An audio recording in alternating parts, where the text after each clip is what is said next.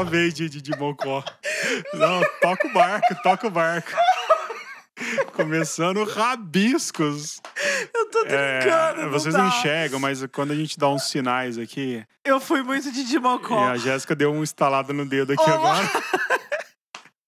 Muito Olá, style, eu sou a cara. Jéssica Balbino. Tudo bom, Você Jéssica? está ouvindo Rabiscos, tudo bom? Tadeu Rodrigues, eu fui muito de Estamos Dimocó fazendo um outro episódio raiz hoje. A gente tem um episódio Quer raiz, dizer, mais ou não, menos não raiz. é muito raiz. É um Vão ter episódio, Ele, entrevistas. tipo, ele é quase especial, né? É, assim. não, é um, é um especial, né? É um especial É. da Floop, que você estava lá. Estava na Flup. Assim, praticamente chegou tem uma hora. Eu cheguei, tipo, a uma hora da, da Flup, tô fresquinha de Flup ainda. E a gente tá gravando hoje pra ir ao ar amanhã. Pra olha eu só, ar amanhã, a gente tá isso. gravando na segunda, não tem chopp, porque a gente tá com problema de chopp na segunda-feira no Verdade. estúdio. Aí, Alan, Tô como frustrada, porque passei cinco dias à base de chopp no Rio de Janeiro. É. E aí chegar aqui e não ter chopp essa hora, meu corpo tá Seu sentindo corpo falta. já tá é, desesperado. tá foda. E foi legal a Floop? Foi muito legal, Tadeu. É, é um festival que é muito especial pra mim.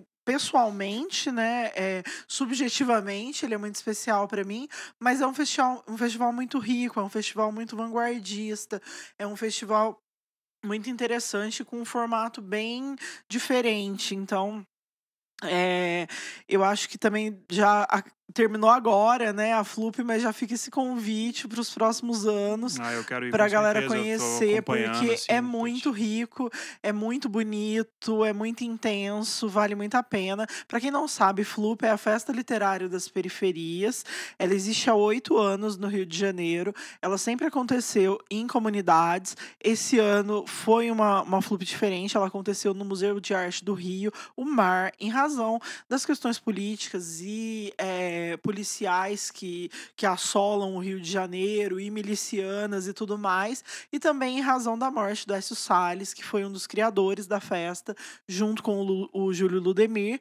Eh, o Écio faleceu em julho, e aí, eh, em razão disso, também de toda uma, uma mudança de logística, aconteceu no Museu de Arte do Rio. Foi uma flup diferente, eh, não teve o, o caráter né, de acontecer dentro da favela e de deslocar as pessoas interessadas e também os convidados para dentro das comunidades para vivenciar uma, uma experiência que muitas vezes a pessoa não vivencia onde ela vive, mas também deu a oportunidade de outras pessoas ouvirem isso e também de irem ao centro, de acessarem o museu. O museu ficou todos os dias com entrada gratuita, o que foi muito legal. E foi, é, na verdade, o museu foi o cenário da, da maior atrocidade contra o povo negro, né?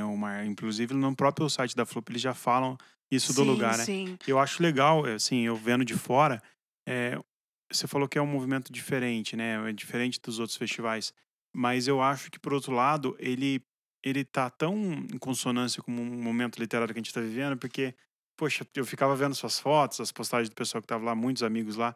Assim, é muito legal ver como que, que a literatura tá, tá tomando um, um corpo novo. A gente tem falado isso aqui em alguns episódios, e eu acho que vivenciar isso deve ter sido muito, muito massa. Eu acho que o mundo tem tomado é, não um corpo, mas corpos diversos é, à, à frente de coisas onde eles sempre tiveram invisibilizados. Eu acho que a Flup foi uma Flup desses corpos diversos e dissidentes ali.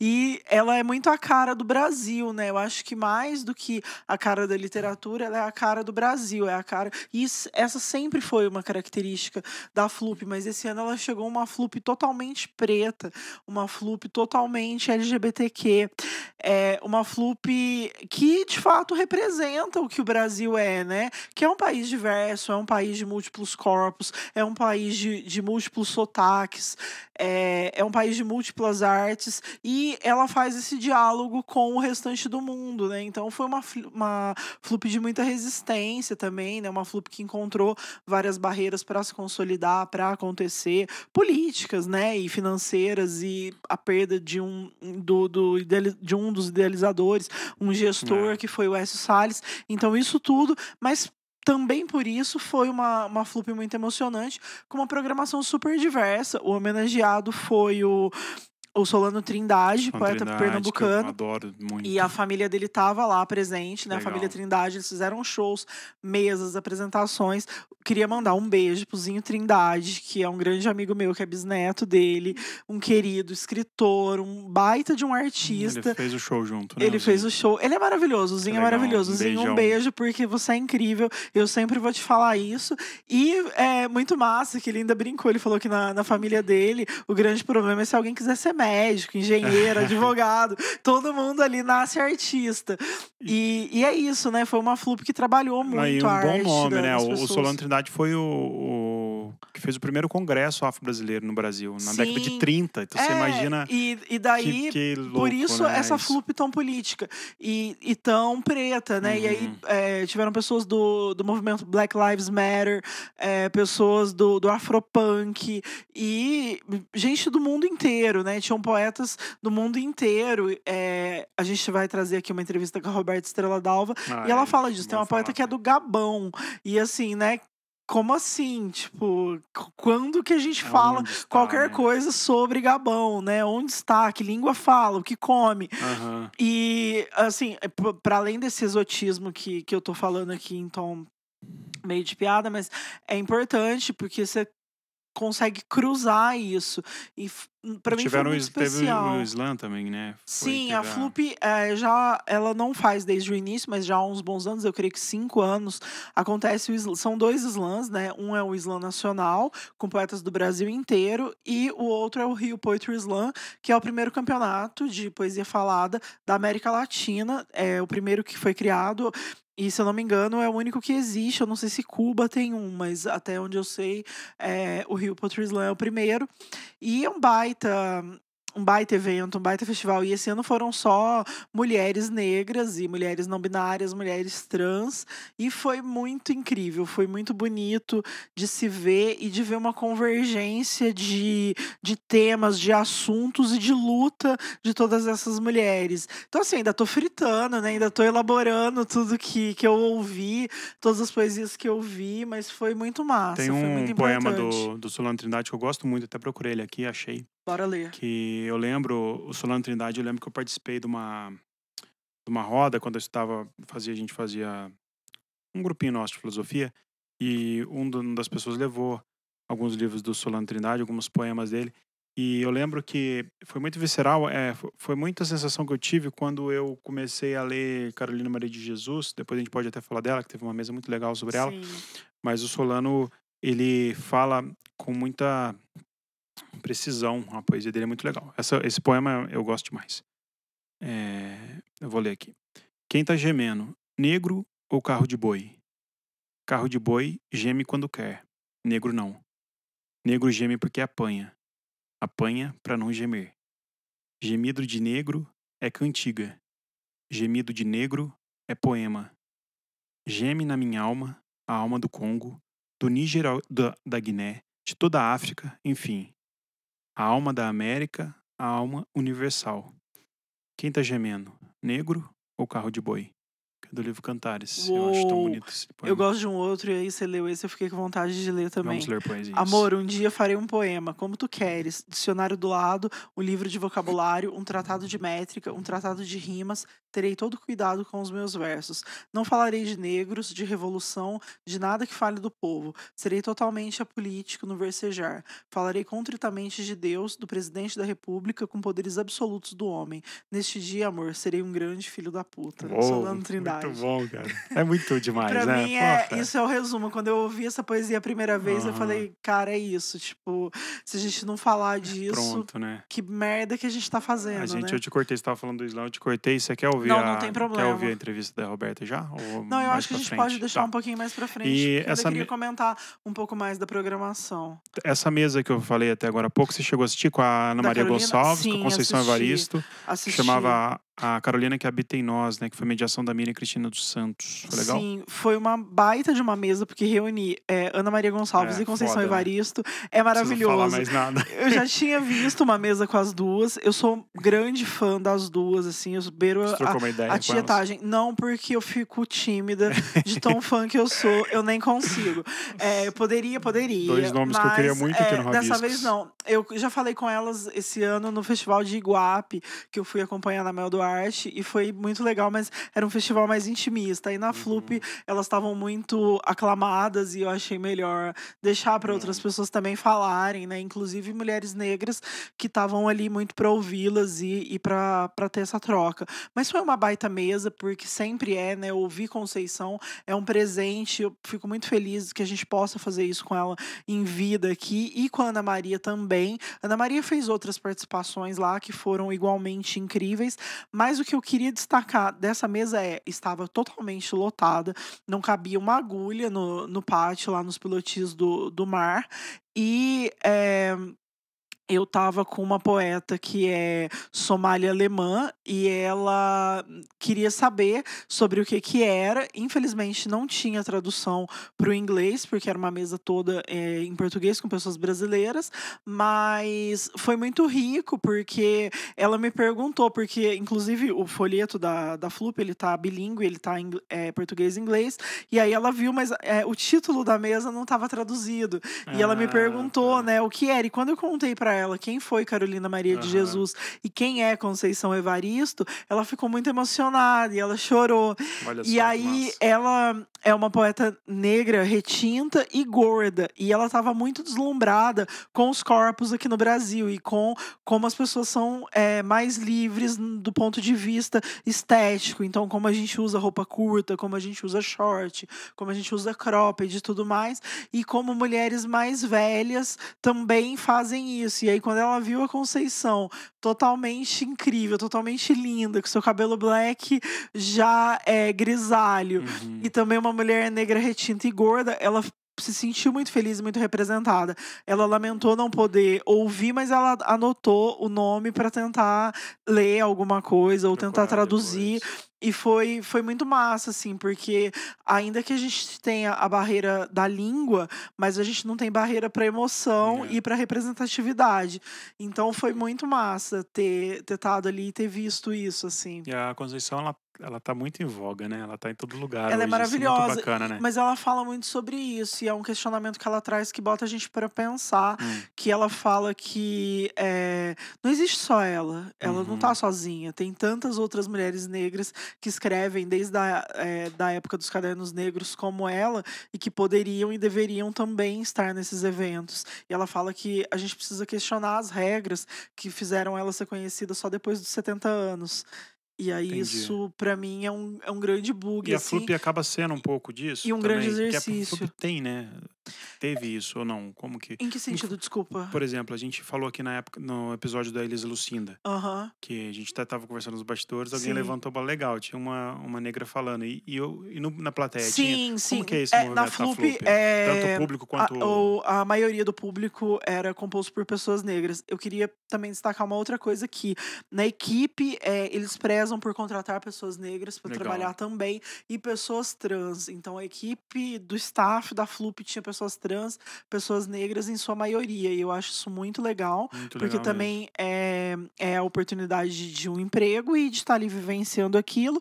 E a plateia é majoritariamente negra, né, ou não branca. Mas mais importante que isso é que ali também, por ser um local que não tá na favela e um ponto turístico, é do lado do Museu do Amanhã também e Uhum. tal, então tem uma grande praça. um- é, houve uma gentrificação ali naquele Uhum. centro, então hoje ele é frequentado muito por turistas e por outras pessoas. Mas essas pessoas que de fato são as pessoas que também precisam ouvir e refletir sobre isso, foram até lá. E eu acho Legal. isso também importante, né? Diversificar esse público e e é isso, as pessoas brancas precisam ouvir, refletir e assumir sua culpa, né? Acho que a gente faz muito isso aqui Uhum. e eu acho que todo mundo deveria fazer também. Você Então, falou até dessa reflexão que a a Conceição Conceição. falou, né? Teve uma mesa aqui que me chamou a atenção, a hora que você me falou, eu lembrei dela, até abriu a programação aqui, Tá. que é com a Cidinha da Silva, a Flávia Oliveira, a Giovana Xavier e a Marcela K. que é Por que umas e não outras, que fala justamente isso. Né? Qual que é o papel da, da mulher, especialmente a mulher negra, na formação da geração de leitores e leitoras, para além da, das políticas públicas Sim, inclusivas. essa foi uma mesa de abertura, né? É. Foi a mesa de abertura foi mediada pela Ana Paula Lisboa, que também Ana é uma Paula querida. Lisboa, eu não vou ficar mandando do beijo pra todo mundo, porque senão eu vou mandar beijo pra Flup inteira, pro Brasil inteiro aqui, porque né, tava todo mundo lá e pro resto do mundo que eu É, conheci mas a Ana Paula é também. muito Mas um beijo, Ana Paula, um beijo. Cidinho, um beijo Flávio. A Cidinha, a gente tá tentando trazer ela aqui, né? Sim, a Ela Cidinha venceu vem, o Prêmio Cidinha Biblioteca Nacional. Cidinha vem, Um Cidinha Exu em Nova é York, eu li o livro dela. maravilhosa. Cidinha mora no meu coração desde sempre, assim como a Ana Paula. O livro dela é ótimo, hein, O aliás. livro hein? dela é maravilhoso. Eu, eu fiquei Baita assim, livro. eu fiquei muito assim, quando eu li o livro dela, eu fiquei num misto de aprendizado e de estranheza, muita coisa que eu não tinha ideia assim do que estava acontecendo. E, de, e foi me recolocando no mundo, assim, falando, nossa, a gente tá no mesmo mundo e tá um monte de coisa nova pra a mim, Cidinha é assim. incrível e ela é cirúrgica, É. tanto na escrita quanto na fala. E merecedor E o prêmio também, é da Biblioteca Nacional. prêmio. Eu acho que a Cidinha, ela vem crescendo é, gradativamente na carreira e eu acho que ela é um grande nome da nossa literatura contemporânea. Isso pra mim é inegável e não tem como voltar dela atrás. É. A Cidinha é incrível e além, para além disso, ela é uma pessoa muito bacana. Vale a conhecer o restante da obra dela, mais do que a história é, dela, Uhum. mas vale conhecer a obra, porque a obra dela é muito impressionante. Não só um Exu em Nova York, mas toda a obra. é, posso compartilhar com você, porque eu sou o que? A louca, que Uhum. tem o que? Todos os Todos os livros da Cidinha.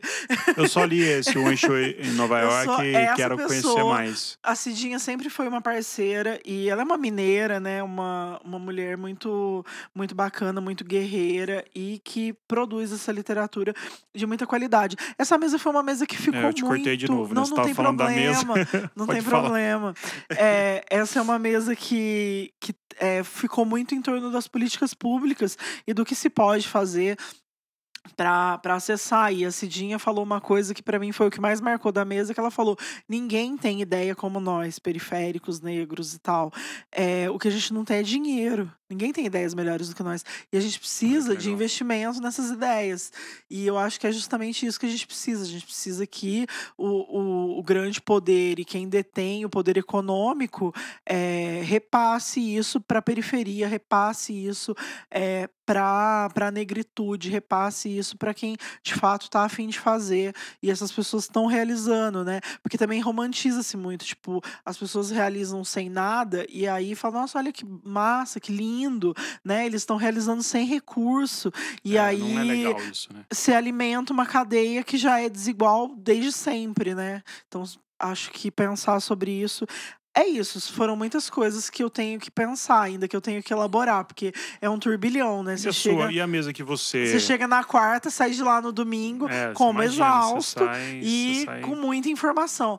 A mesa que eu mediei foi, que foi meu muito corpo, rica. meus versos, com a, a Kua Naru e a Preta Rara. Isso, e foi muito massa. Eu não conhecia a cor pessoalmente, mas eu já admirava e acompanhava o trabalho dela. E a Preta Rara é uma amiga minha de longa data. é, a gente já se acompanha há bastante tempo, já estivemos juntas em outros eventos. E é uma pessoa que eu fico muito feliz de ver a ascensão e de ver como ela conseguiu.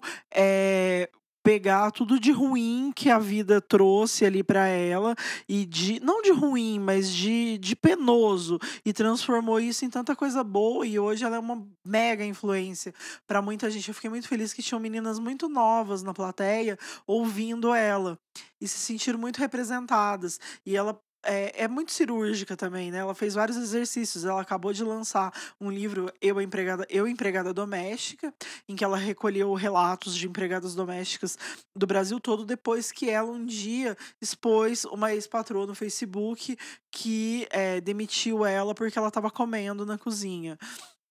E ela foi empregada doméstica, ela traz essas questões, como ser uma empregada doméstica para pessoas negras é hereditário. Então a avó Uhum. dela foi empregada, a mãe, e ela também. E aí, quando ela expôs isso, essa página cresceu, viralizou, e daí, enfim, ela eh, acessou várias outras coisas e fez esse livro. E ela propôs um exercício que era eh, a gente pensar, todo mundo conhece uma empregada doméstica, todo mundo sabe disso. Como é que essa empregada é tratada? Como é que a Uhum. gente trata, no caso da gente ter uma empregada? Eh, ela é negra? E, e aí é isso, a gente tentar. E ela fez um outro exercício que pra mim foi muito foda, que ela falou: "O que que você tá fazendo hoje pra que eu não morra enquanto uma mulher negra e gorda no Brasil?".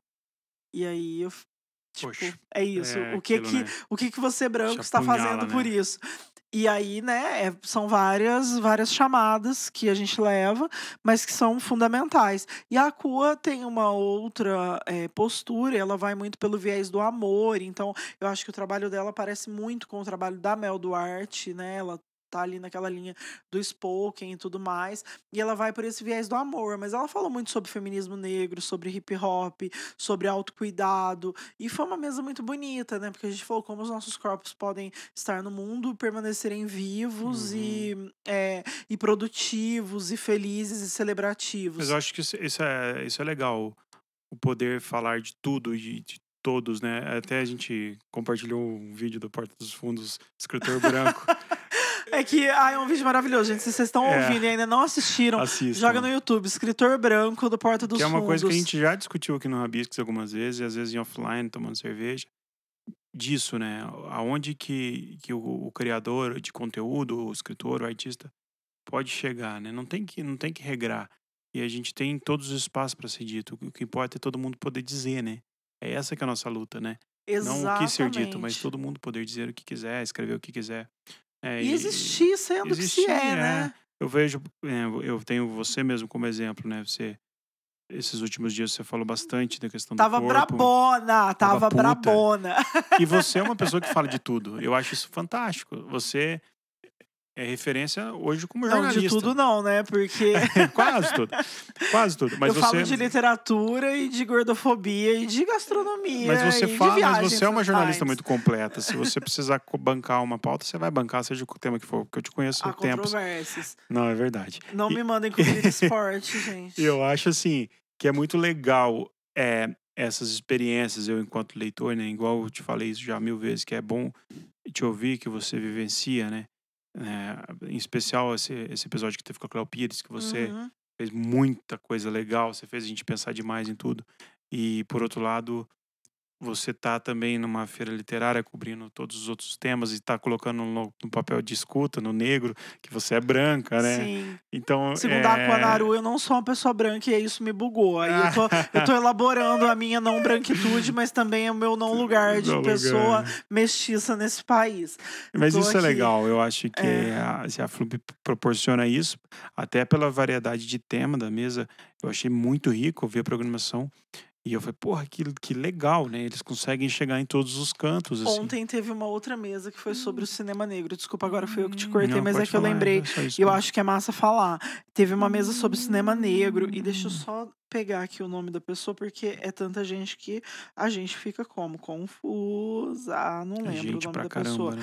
que a mesa foi Filhas e Filhos, um teatro negro renovado, mediado pelo Eugênio Lima, que é um grande amigo meu. Eu não lembro é, exatamente quem foi a pessoa que falou, mas era uma mulher trans, negra, e ela falou que é inadmissível no Brasil de hoje você, pessoa branca, chegar num lugar e só ter outras pessoas brancas e você não questionar isso e você permanecer nesse lugar, você não se levantar e ir embora. É inadmissível você chegar num espaço qualquer e só ter pessoas binárias, e não ter pessoas não binárias, não ter pessoas trans, não ter gays, não ter pessoas LGBTs. Que isso é, é o mínimo que a gente pode fazer, não compactuar com a existência desses espaços, sejam eles Uhum. físicos ou não físicos, né? Tipo, ou sei lá, espaços é, mil que Tipo, a gente tá aqui trocando essa ideia. E isso tem que estar presente de alguma forma, nem que seja na pauta. Mas, é, e ela falou assim: eu proponho um exercício que é muito prático e muito ótimo. Falou: pega o celular de vocês agora, olha na agenda. Quantos contatos você tem de pessoas pretas? Quantos contatos você tem de pessoas gordas? Quantos Uhum. contatos você tem de pessoas trans?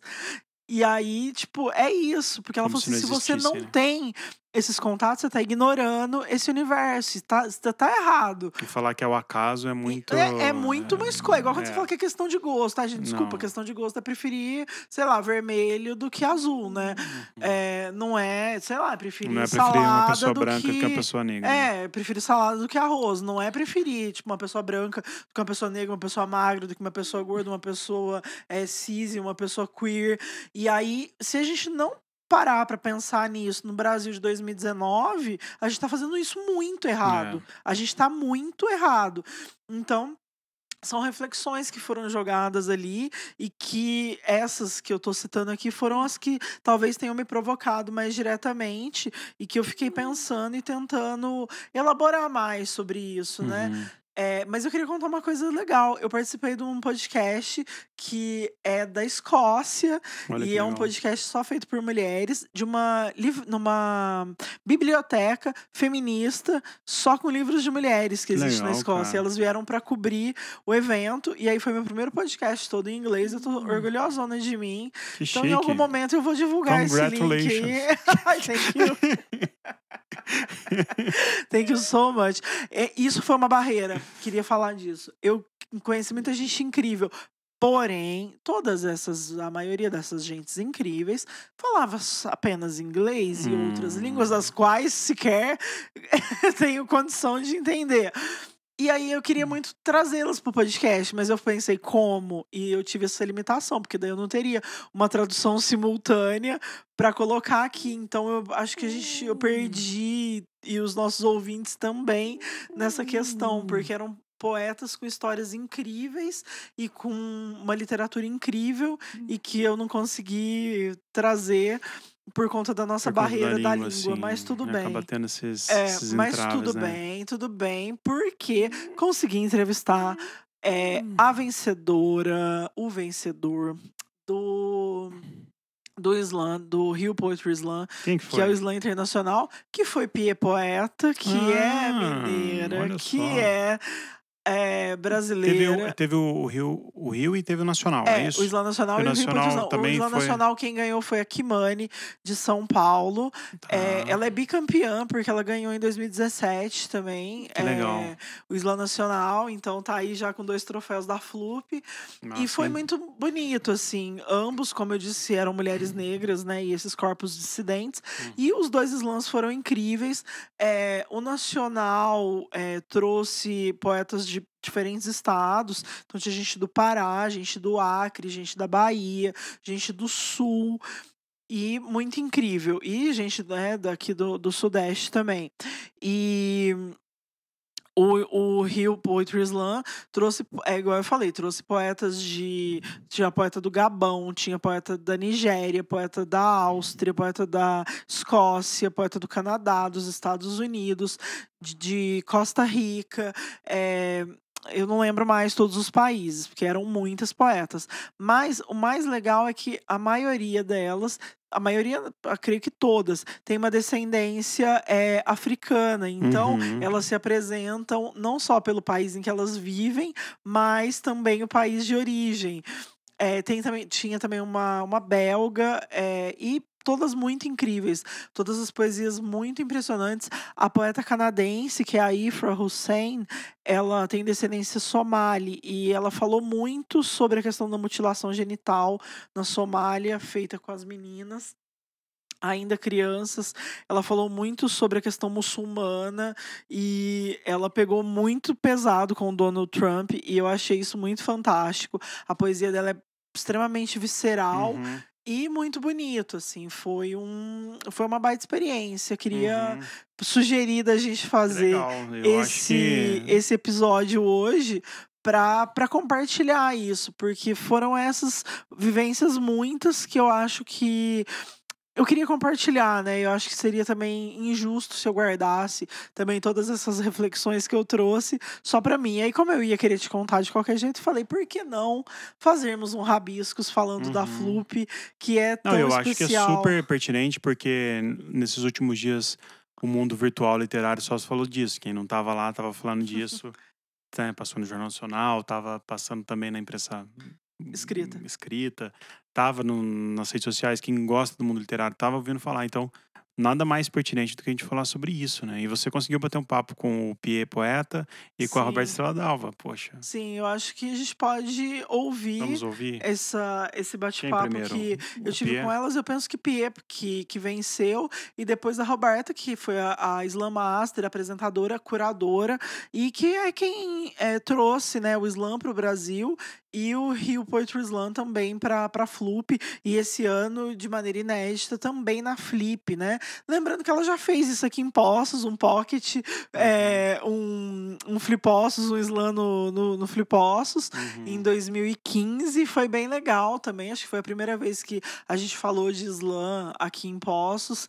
E ela veio, brincou, fez ali com a plateia. Tinha um, um pessoal de uma escola e foi muito rico. E ela é essa embaixadora, né, do, do Uhum. slam aqui no, no Brasil. Muito É, é o nome, é a pessoa. Eu falei com ela muito rapidamente, porque na sequência do terminou o slam, eu falei com ela em seguida, mas aí tinha uma homenagem pro, pro Écio Salles, um vídeo homenageando ele, e aí a gente voltou para assistir, e teve um show com a Lia de Tamaracá, que também é uma pernambucana incrível, que tá no elenco do, do Bacurau, que é uma Uhum. mulher de 90 anos fazendo ciranda, e foi uma baita de uma energia, lavou a alma, foi muito massa o Uhum. show dela.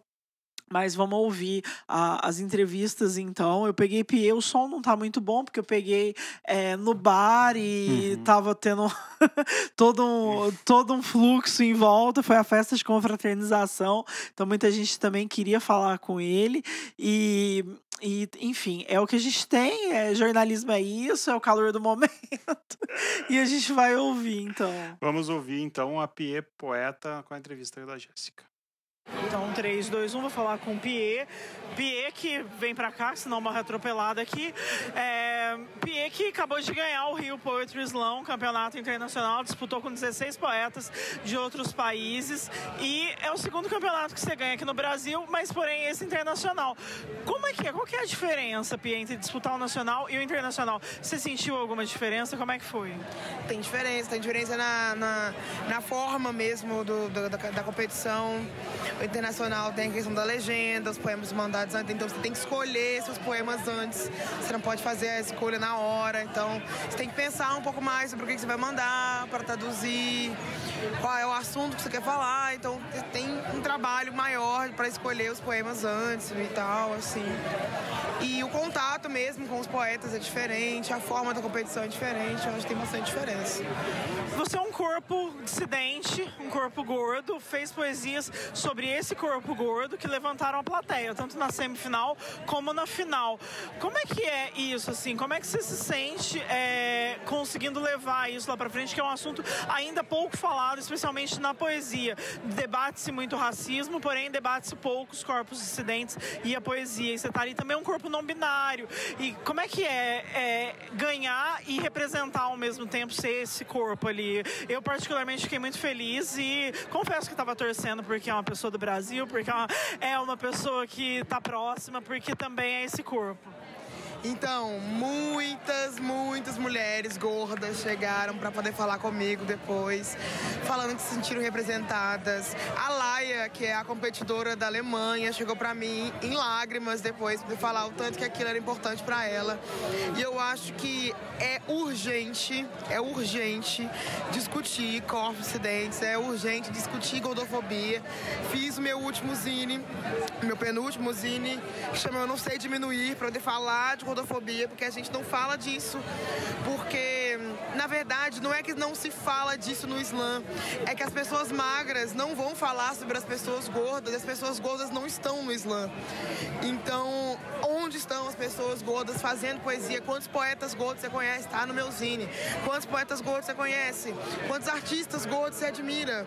Quantas pessoas gordas você admira? Quantas pessoas gordas você já se apaixonou? Né? Onde estão esses corpos? Por que, que os corpos dissidentes são sempre escondidos? Então, é pertinente falar sobre. Hoje eu tava assistindo uma mesa e tinha uma mulher trans numa mesa na Flup, tinha essa mulher trans, e ela falou, ela propôs um exercício. Abre a sua agenda de contato agora e vê quantas pessoas negras tem na sua agenda, quantas pessoas trans tem na sua agenda. E eu fiquei pensando também sobre isso, estendendo isso. Quantas pessoas gordas tem na sua agenda? Eu achei muito pertinente. E ontem a Laia falou muito sobre isso. Ela fez um comparativo com o racismo e a gordofobia. E ela falou que o racismo ninguém chega para você e diz seja branco, mas com a gordofobia as pessoas chegam em você e se, dizem seja magro. É, e você compartilha dessa opinião? Sim, sim, sim. A, o, a gordofobia, ela é incisiva. As pessoas se sentem no direito de, de, de invadir seu espaço, de, de te incomodar, de tirar a sua paz mesmo para poder falar a opinião dela sobre o seu corpo. E é sempre no álibi da saúde. As pessoas não se preocupam com a saúde dos corpos magros, as pessoas não se preocupam com nenhuma outra saúde, além da saúde do corpo gordo, porque a saúde do gordo é sempre prejudicada, que é uma doença, as pessoas veem ainda como doença. E por essa questão de ver o corpo gordo como um corpo doente, a gordofobia ela é incisiva. Então as pessoas vão invadir o espaço, vão fazer qualquer tipo de comentário sem a menor preocupação sobre como esse comentário vai chegar, porque é, não é velado como o racismo hoje em dia, não é velado, é escancarado, é explícito, é, é insistente e é incisivo, né? A gordofobia ela é incisiva, ela invade seu espaço. Então, falar só não, não, não é o ato político. O ato político com o corpo dissidente é existir. Né? Eu fico pensando que as pessoas conseguem anular corpos dissidentes só com um olhar. E ter você ali no palco fazendo essa poesia foi muito importante. É isso foi importante para mim e para outras mulheres que chegaram para você. E isso cruzou uma barreira do idioma, cruzou uma barreira do país, cruzou uma barreira do continente. Você já teve também na França fazendo poesia. Foi diferente daqui? Você sente essa diferença? Ou foi também como aqui? Você também levou é, essa militância anti-gordofobia para lá? Então, lá na França, como eu tinha escolhido meus poemas seis meses antes, e a tava com a pressão, com o tempo, assim, eu escolhi muito mal meus poemas, então não, não levei esse poema específico, não falei sobre isso. Mas eu falei muito sobre isso com as pessoas que eu conheci lá, troquei essa ideia, conversei de como é que funciona a intencionalidade dessa questão, assim. E muita gente me falou como é que funciona. É muito gordofóbico, a Europa é muito gordofóbico, o padrão de beleza europeu é muito rígido. Inclusive, era esquisito para eles eu lá com, com as roupas que eu uso, com o corpo que eu tenho no Islã porque não tinha mais nenhum outro poeta gordo no Islã e a galera ficava me olhando mesmo, fazendo perguntas, às vezes. Já aconteceu, eu tava no metrô lá em Paris, o cara chegou e perguntou, tipo, de onde eu era e fez um comentário sobre isso. Eu falei, cara, desnecessário, porque eu nem te conheço, você tá aqui passando. Primeiro que você é um cara. Primeiro, ok, tchau. E ele veio, assim, fez um comentário. A Europa é gordofóbica, a Europa é racista, a Europa é tudo, e a gente sabe disso. Então, a subvertência na Europa é respirar, assim. Tava lá, tava sendo visto o tempo inteiro. Eu fiquei pensando que, enquanto eu assisti o Islã, que a maioria dos poemas também, é, embora eles não falem de gordofobia, mas eles trazem uma questão central, que é o racismo. E foram, é, esse Islã, diferente dos outros, essa Flup trouxe mulheres negras e, é, enfim, corpos dissidentes também negros. Você sentiu isso enquanto você estava ali como espectadora, ouvindo suas companheiras de Islã, que há uma convergência entre os assuntos e a gente está falando muito sobre colonização e racismo? Sim.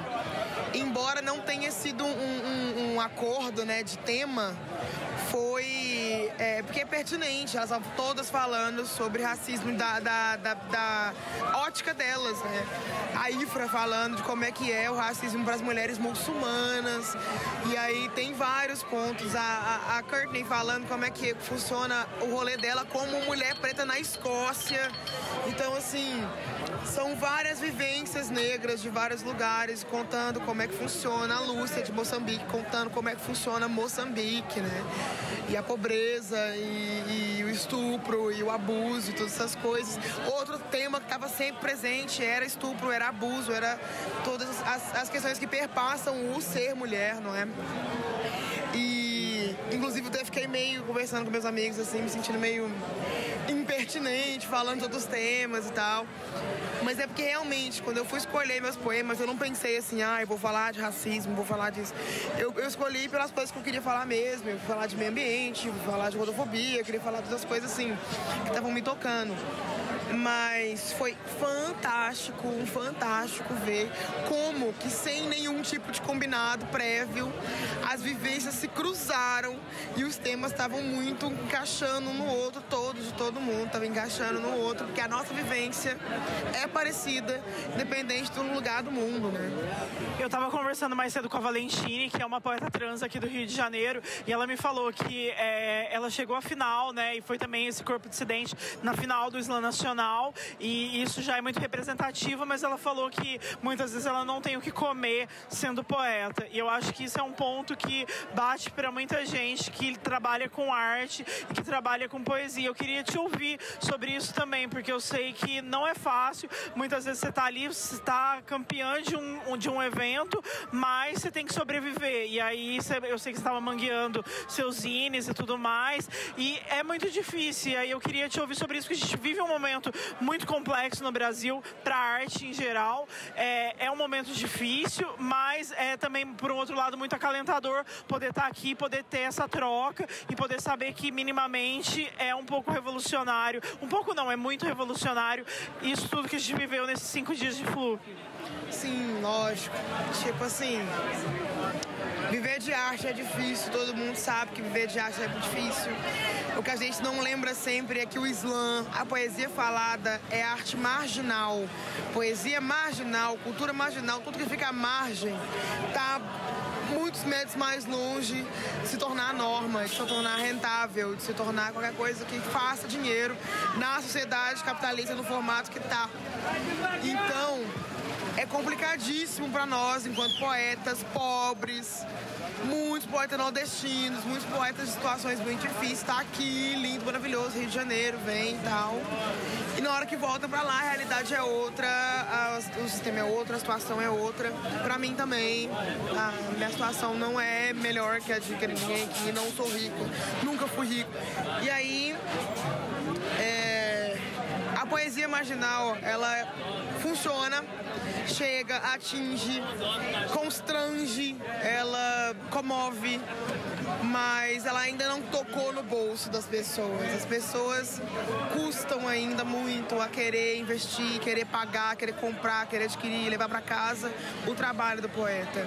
Isso precisa ser falado, ser trabalhado. A gente conversou muito sobre isso mesmo, assim, dos eventos que chamam a gente e que fazem convites, mas os convites sempre ou não tem cachê ou, é uma ajuda de custo. A ajuda de custo não, não paga as contas da gente, a ajuda de custo não, não resolve a vida da gente. A gente vive de poesia sim, porque esse é o trabalho da gente. Poesia não é um passatempo, não é um hobby, não é um lazer. Poesia é meu trabalho, eu faço isso, eu escrevo, esse é meu trabalho. Então seria bom se pudesse ser pago por ele, né? Porque seria trabalho, o justo, né? Trabalho, né, gente? Trabalho, não é fácil. Fácil não é, não é a diversão da minha vida. Eu não sinto pra, pra me divertir e falar assim, ah, vou escrever aqui. Não. Escrevo pra viver, basicamente. Pia, tem alguma coisa que eu não perguntei, mas que você acha que é massa falar no podcast?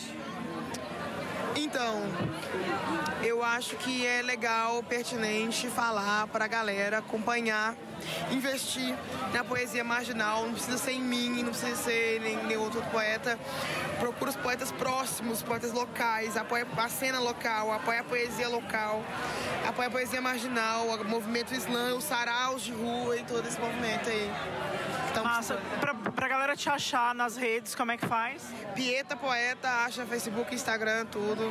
É isso. Perfeito, muito obrigada. Aí, voltando. Muito legal. Muito bom, muito bom. Muito bom. O que é, o que eu achei muito massa da, da poesia da, do Pierre é que não não segue necessariamente a estética que a gente está habituado a ver em Islã. E, para além disso, ela trouxe temas é, muito pertinentes, como meio ambiente, política e gordofobia. É, eu, como eu sou fominha, eu fiquei te mostrando, né? As eu... poesias mesmo você anotando lá. Mas eu achei muito legal. Os vídeos são muito bacanas. Hoje eu até estava olhando a, o ao vivo, né? Aquele vídeo enorme de 7 Sim. horas, quase 8 horas. E eu fui passando a gente estava procurando as entrevistas, eu fui passando e fui ouvindo algumas coisas. É, até no final, quando a Roberta Dalva é, assume também, ela é muito divertida, né? Ela, Ela é tem muito um, um talento para falar. Mas, no geral, fui passando os outros vídeos, fui vendo os vídeos menores, fui vendo o pessoal falando. É, é uma riqueza que eu me senti muito orgulhoso, assim, de, de poder estar no mundo literário e ver isso, sabe? Falei, Nossa, que bom que eu tô Vivendo podendo isso, né? escutar isso, tô vendo esse pessoal novo, né? Tô vendo o pessoal. É, eu até eu tava conversando com um amigo sobre o Giovanni Martins, que tá sendo traduzido pra caramba. Uhum. O cara lá da Rocinha, ele tá E é sendo lido cria pra da- de- é caramba. o que- Giovanni é cria da Flup. Ele é cria da Flup. e Isso é muito importante de ser dito. E falo, nossa, como que eu fico feliz, sabe, com isso? Como que eu acho que, que engrandece o mundo literário como um todo, assim. Não preciso ficar falando só naquela literatura que parece que tá tão longe da Canônica. gente. É, pois é. Muito E- legal. Mas eu- o, o grande barato da, da Flup é que eu acho que ela mistura né, essas duas coisas. Ela traz quem tá em evidência, quem tá, de certo modo, no cânone, mas também traz essa literatura que é emergente. Você falou do Giovanni, e isso é muito bonito, porque ontem nesse vídeo, em homenagem ao Écio, tinha várias falas dele. Numa delas ele fala que ele ousou sonhar dias melhores Uhum. que ele ousou sonhar, né? Que ele ousou Uhum. pensar que era possível é, despertar o gosto de literatura em outras pessoas. E ele conseguiu, né? E aí, assim, obviamente eu chorei largado, igual criança.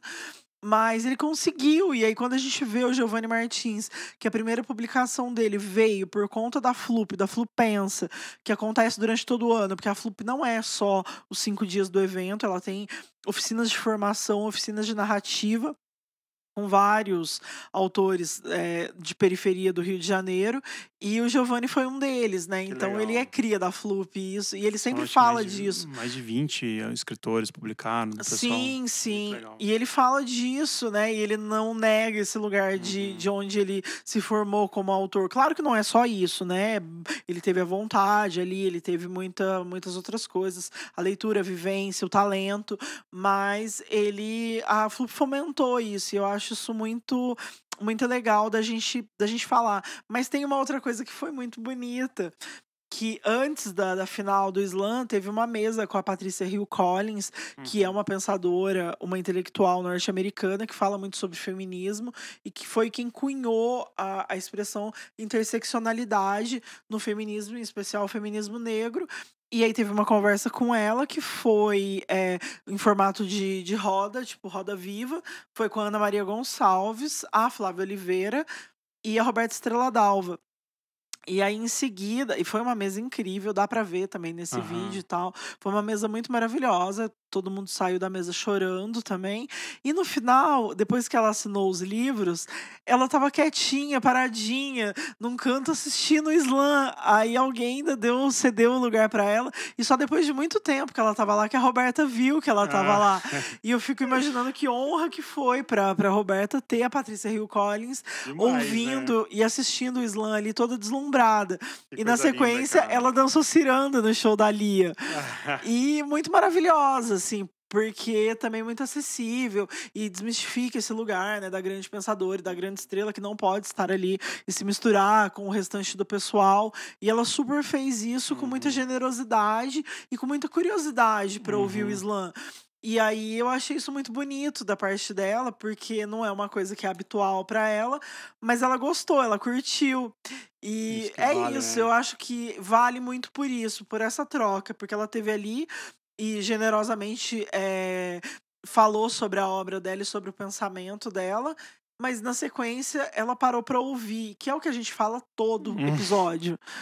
A gente tá até chato com isso já, mas acho Eu que tô tem que chato ser falado. professoral, né? Mas eu acho que a tô... gente tem que ser falado isso. Eu tô chatona. Você vê que eu já nem tô tão pistola, porque eu fui não, pra você Flu. tá tranquilo, é, você voltou fui- light. Voltei lá. Você voltou só estou- cansada, né? É, mas tudo bem, mas não é um cansaço só de boas. É bom pra. que o podcast é bom assim, que aí você fala relaxar. É, hoje eu tô relaxada. Você viu que eu tô a editora autêntica indicou Rabiscos lá dos cinco Pô, podcasts. verdade. Né? E eu um conheci beijão mão pra eles. Beijo, editora autêntica. Mandem livros para o Mandem livros, Rabiscos, favor. mandem livros. Eu conheci o Leandro lá no Rio, que é um ouvinte do Rabiscos. Ele ouve. Ah, ele mandou um vídeo Ele mandou gente. um vídeo pra gente. E a Midria também, que é uma poeta de São Paulo que estava competindo no Slam Nacional, veio falar que ela ouve. E ela falou coisas muito lindas. Ela falou que a gente se acolhe muito. E acolhe Hum, quem, é tá, bom. quem é convidado e quem tá ouvindo. Então, Eu acho que isso que importa, beijo, né? Midria. Obrigada pela Vamos ouvir a companhia. Roberta Estrela d'Alva agora, Nossa, então? a gente não ouviu não, ainda? A gente ouviu a Pie Poeta. Gente, eu tô aqui crente que a gente tá encerrando já. Então Não. bora ouvir a Roberta, assim, com toda a reverência, porque o quê? Eu amo a Roberta. Vai, Roberta, Ouvindo. fala, Roberta. Roberta, final do slam, ganhou uma poeta brasileira e esse slam é diferente de todos os outros, feito só com mulheres, só com mulheres negras, vindas de toda parte do mundo.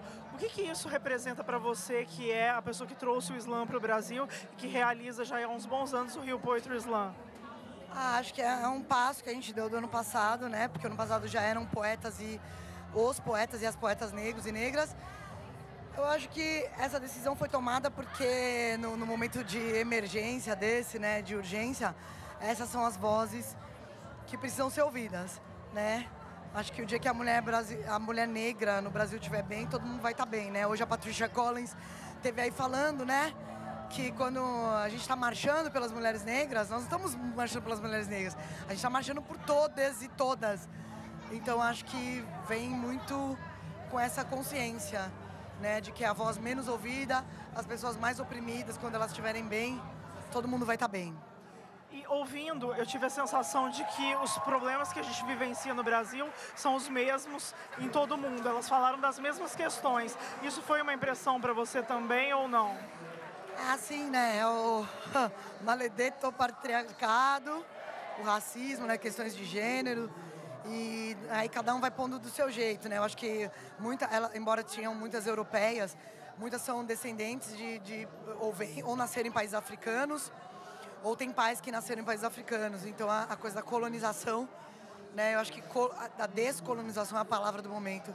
Descolonizar corpos, mentes, espíritos, linguagem, sexo e tudo mais. Diferente de todos os anos, a FLUP foi realizada no centro do Rio, num museu e não na favela, como foi a ideia original. O que, que você acha que isso muda para a FLUP, para quem está ouvindo, para quem está participando? Acho que por um lado, né, deixa de, de é, cumprir um papel que cumpria, que é levar um público para as comunidades, que eu acho que era muito interessante, né, a pessoa ter que se deslocar e ir até uma, uma favela para assistir. Por outro lado, também tem é, o acesso que é o centro, né? Esse lugar é um lugar aberto, então acho que teve um público, é, uma afluência de público maior das pessoas que frequentam o centro que estavam passando por aqui. Uma última pergunta. Você faz uma curadoria muito interessante, consegue trazer poeta, por exemplo, do Gabão, que é um país que a gente praticamente não ouve falar e desconhece. Como é que é feito esse trabalho, essa preparação e esse contato para trazer também essa diversidade de países e não ficar numa coisa só centrada na Europa, embora você tenha dito que elas têm uma descendência, em sua maioria africana? É, tem isso, né? Tem pessoas que eu conheci nas andanças. Eu tô precisando andar mais no mundo.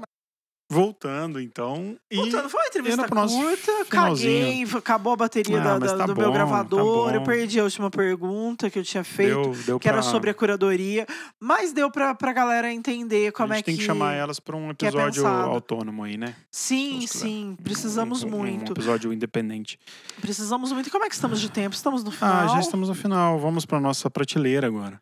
Nossa, mas a gente vai gritar assim tão abruptamente, eu não tô preparada pra parar de falar da chegando ao Flup. final. Eu não tô Podemos fazer mais um episódio. Eu não quero parar de falar da Flup, porque foi muito incrível, foi muito importante. Massa, né? Eu não Que quero legal. sair desse episódio, por favor, eu não quero Vou ver se sair eu, dessa vibe. Se o meu programa para ano que vem. Sim, a gente demais, vai, assim. porque eu vou independente. Porque assim, a galera já sabe, né? Os Você organizadores já sabem que eu vou estar lá. Então, é isso. Massa O Brasil demais. já sabe que estarei lá. Vamos falar então Você vai que indicar alguma coisa de tem, lá, então? Tem lido, eu nem sei o que que eu vou indicar, porque eu não li, né, esses dias, eu só ouvi. Mas eu vou indicar, sim. Eu vou indicar é, o livro da Luísa Valente, que é Do Tempo que Voyer Precisava de Binóculos. Entendeu? Eu não li ainda.